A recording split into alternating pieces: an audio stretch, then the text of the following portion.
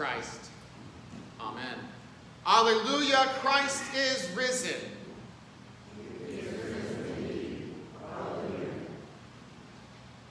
The psalm for this Easter sunrise set is one, Psalm 118, which starts with the words, This is the day which the Lord has made.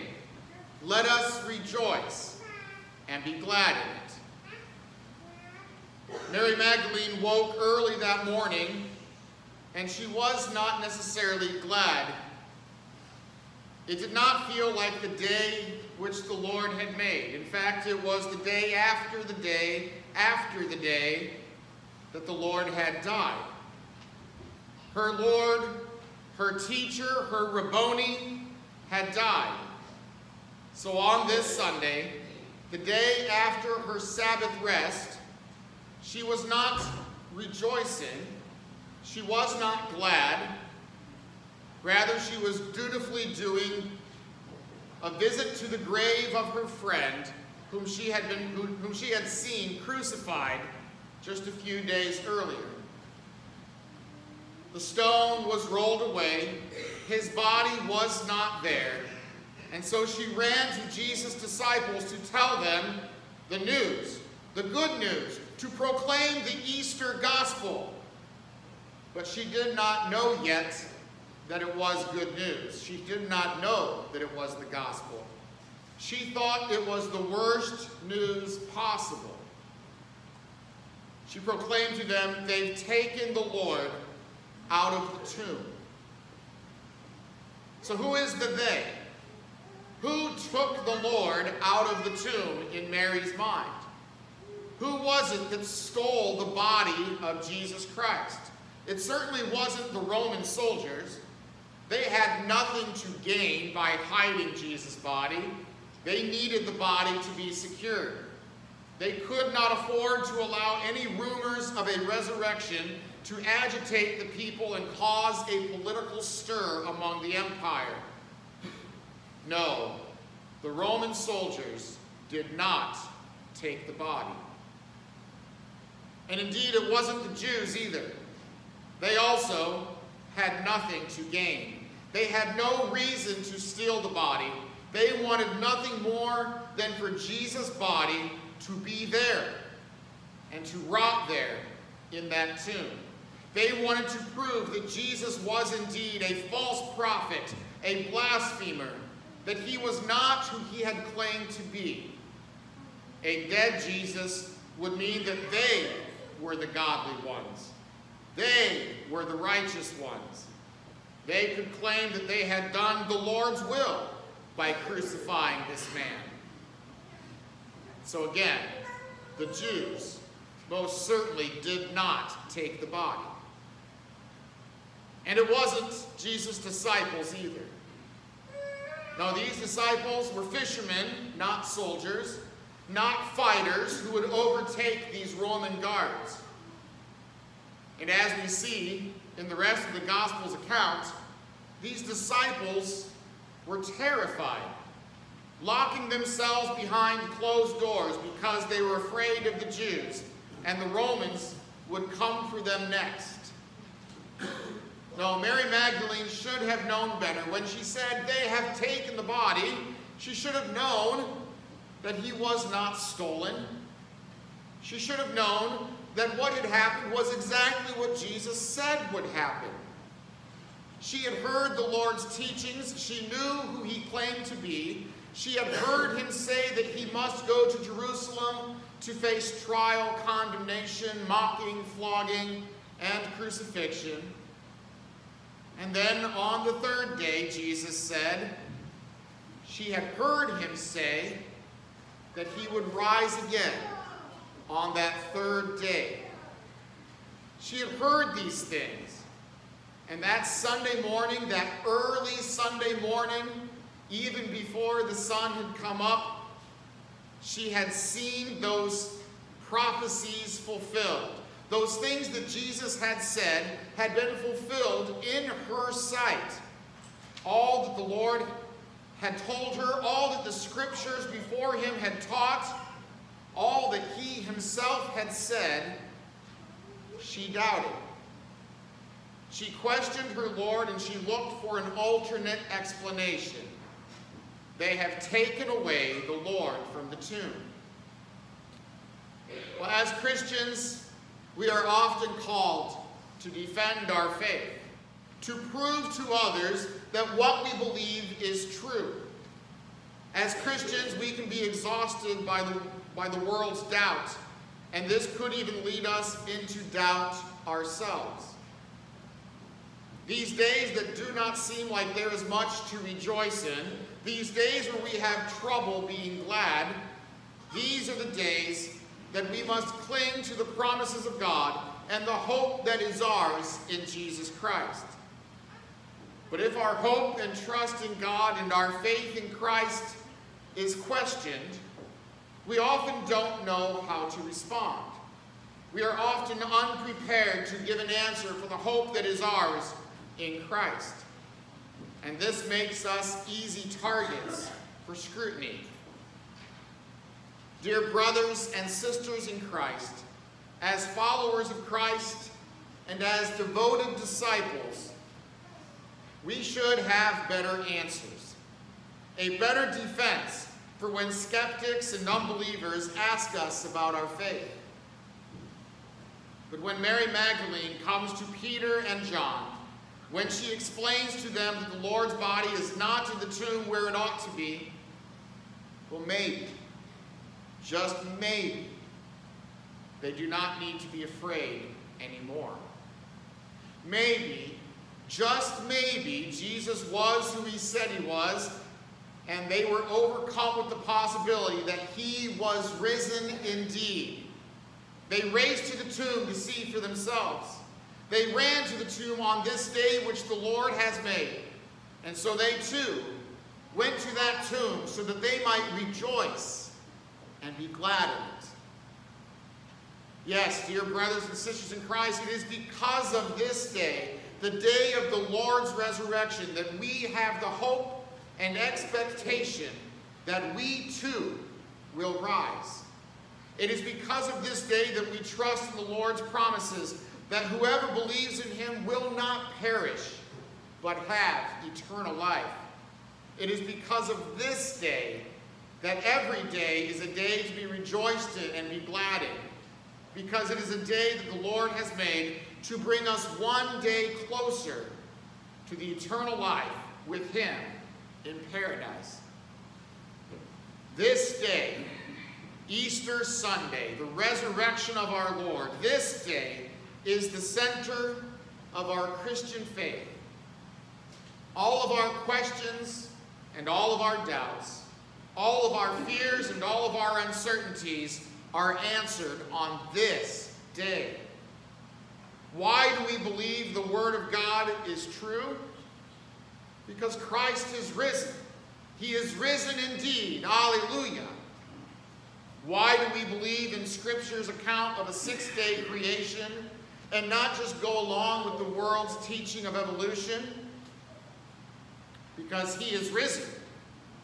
He is risen indeed. Hallelujah. Why do we adhere to Scripture's teachings on all sorts of moral topics, including marriage and family, gender and sexuality? Why don't we just let people live their lives as if this is all there is? Why don't we just leave people alone to do as they please? Why are we so concerned with words like sin and condemnation and righteousness and eternal life? Why do these things matter? Well, you know the answer. Because Christ is risen. He is risen indeed. Hallelujah. Why do we claim to have the truth when it comes to spirituality? Why are we so insistent that Jesus alone is the way, the truth, and the life, and that no one comes to the Father except through him? Why do we say that Jesus alone is the way? Because Jesus alone is risen. He is risen indeed. Hallelujah. Yes, this is the day which the Lord has made, and we will rejoice and be glad in it. It is a day that we do not have to wonder if what we believe is true.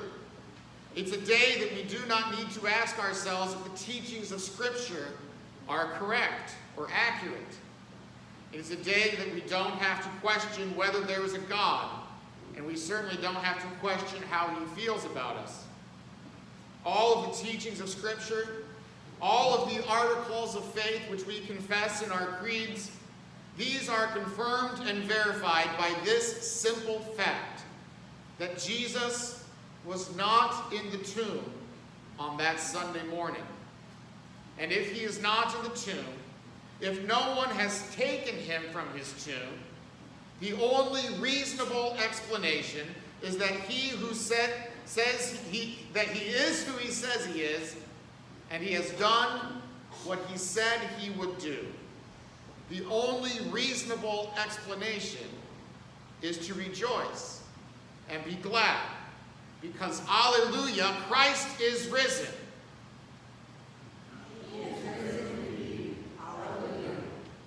This is the day. This morning is a morning unlike any other in the year of the Christian church because this day's events which we celebrate today, these are the heart of the Christian faith. And every Sunday throughout the year is yet another heartbeat, another sign of life. Life that is ours in Christ because he is risen, just as he said. The Lord has made this day so that we may believe, and that by believing we may have life in his name. The Lord has given us Easter so that we may rejoice and be glad in each and every day that he has given to us. He has given us Easter so that all our fears and terrors, all our questions and doubts may be put to rest. Because Christ is risen indeed, and if death itself could not defeat him, well then it will not defeat us either. Death is the last enemy to be defeated, and the victory belongs to Jesus. Therefore, the victory belongs to you as well. This is the day which the Lord has made. Let us rejoice and be glad in it. Alleluia, Christ is risen. Is risen in the name of Jesus. Amen. And now may the peace of God, which surpasses all understanding, guard your hearts and your minds in Christ Jesus our Lord. Amen.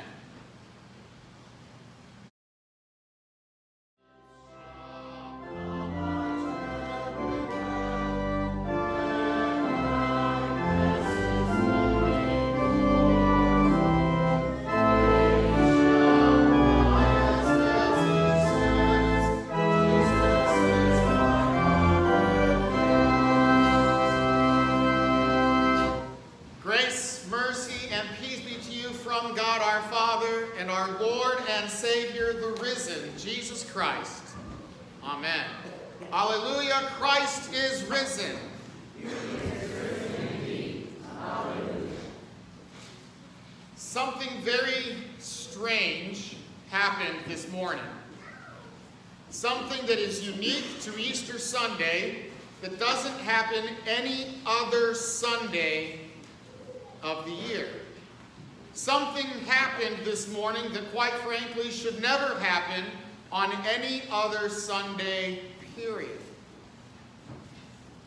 Did you notice it? Something so strange and unique and actually almost inappropriate on a Sunday morning. And I'm not talking about the Easter breakfast. That is something we should do every Sunday. That was good. But the strange and unique thing that happened this morning was that when we read the gospel reading, the gospel reading which is set apart from the Old Testament reading and the epistle reading, the gospel reading which we highlight by standing for this reading we stand in reverence for the words and actions of our Lord. And then we heard this gospel reading, which usually includes Jesus' teachings, some kind of a parable or some other instructions, or maybe something that he has done, a miracle or something. Something that has Jesus in it. The gospel always has Jesus as the star of the show. He is the main character. He is front and center, speaking and doing as only Jesus could speak and do. But today's gospel reading is without Jesus. In today's gospel reading, Jesus says nothing and does nothing. Jesus is entirely absent from today's gospel reading. And that is the good news. Yes, the only time Jesus' name is mentioned in our gospel reading today is when the angel says he is not here. He was not present. He did not speak. He did not teach. He says nothing. And that is what sets this day apart so uniquely and so strangely. The gospel reading, which tells us the good news of Jesus Christ on this most holy day of the year, doesn't even have Jesus. He is not there. Now, sadly, this might be the case in many so-called Christian churches on every other Sunday throughout the year. Easter might be the only day that some of these churches talk about Jesus. Sadly, every other Sunday might be a self-improvement sermon or the latest social justice initiative or some kind of what we call woke agenda or some moral lesson on being a better person. But sadly, a lot of times in many Christian churches, Jesus is scarcely mentioned. But Easter is a day that we cannot help but to talk about Jesus and what he has said and what he has done. After all, this is the gospel. This is the good news that gives us hope and promise of eternal life. And hopefully today, every Christian church is talking about Jesus, at least for today. So how can we have a gospel reading that's supposed to bring us the gospel message when Jesus is noticeably absent, when Jesus is not there? Well, of course, the answer is quite obvious, isn't it? He is not in our text today because he was not supposed to be in our text today. He was not in that tomb because it could not hold him any longer. Death and the grave had no power over him. He was not in that tomb because he told us he would not be. He accurately prophesied that he would be betrayed, given over into the hands of sinners, mocked, flogged, and crucified. The angel says, Remember how he told you while he was still in Galilee that the Son of Man must be delivered into the hands of sinful men and be crucified, and on the third day rise again. Indeed, he always told us that on the third day he would rise. He is not in that tomb because he promised he would not be in that tomb. And Jesus always keeps his promises. That is the good news. That is the gospel, isn't it? That he is not here. He is not here. He is risen just as he said. Then watch what happens next. They remember. They remember what he has said. They believe, even though Jesus isn't standing there in front of them, even though all they've seen with their eyes is an empty grave and some angels, they believe. And with an active, living faith, they dash away to tell the disciples that wonderful news of that first Easter morning. confusion and fear change instantly to belief and hope. Soon, they will see Jesus. They will know exactly where he is. And they will know that he is not in that tomb, but he is rather with them. At that moment, though, at that first moment on that first Easter Sunday, Jesus was not there. Now, dear brothers and sisters in Christ, life can throw us a lot of different circumstances and situations. And sometimes as we go through life, it seems that Jesus seems noticeably absent. Sometimes it seems that we are going through our own trials and tribulations all on our own, all by ourselves. And we live in our own Good Fridays asking, My God, my God, why have you forsaken me? We have our own shares of arguments, disagreements. We have feelings like we have been betrayed and abandoned by our closest friends. We have our own losses, our own pains, and our own sufferings. Perhaps we have financial hardships, loss of employment, or just grumbling that it's getting harder and harder to pay for things like gas. Or perhaps it is mourning the loss of a loved one, whether recently or many years ago.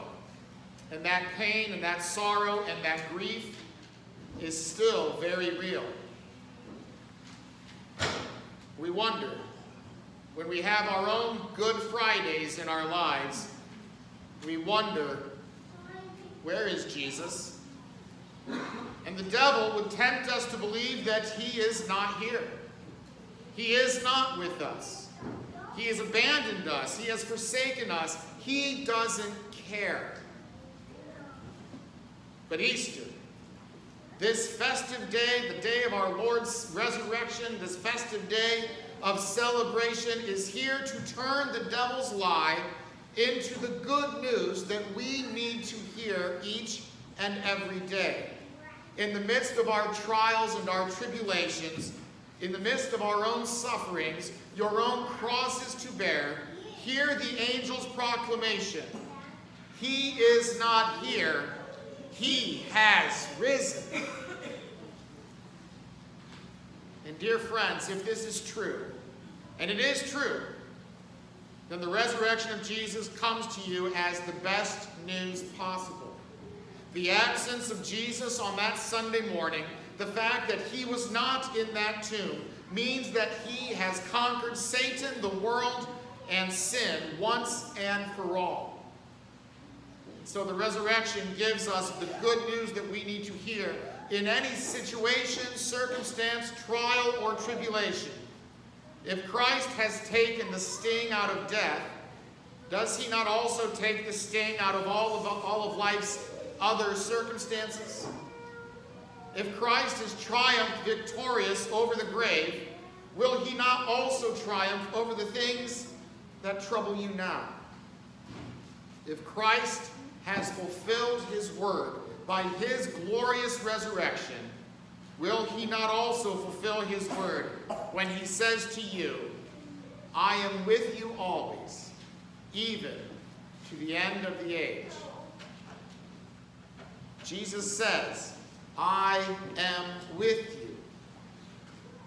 Now we might see in our gospel text today, and we might feel in our own lives that he is not here, but the Lord keeps his promises.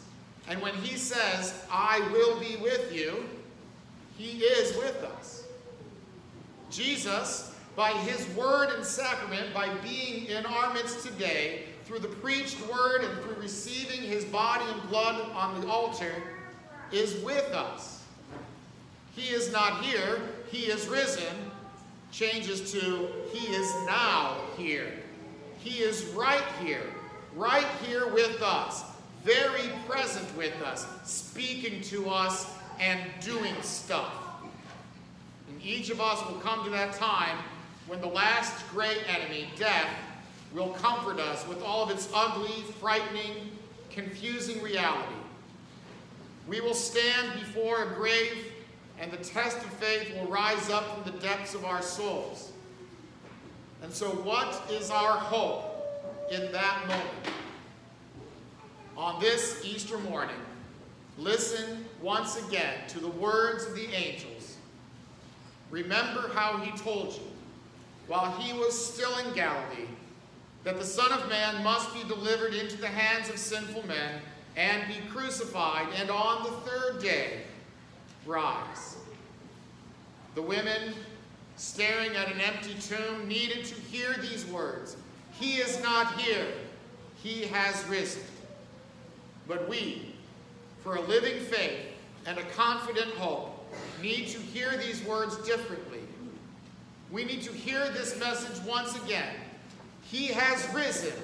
He is now here. Alleluia, Christ is risen. In the name of Jesus, amen. And now may the peace of God, which surpasses all understanding, guard your hearts and your minds in Christ Jesus our Lord. Amen.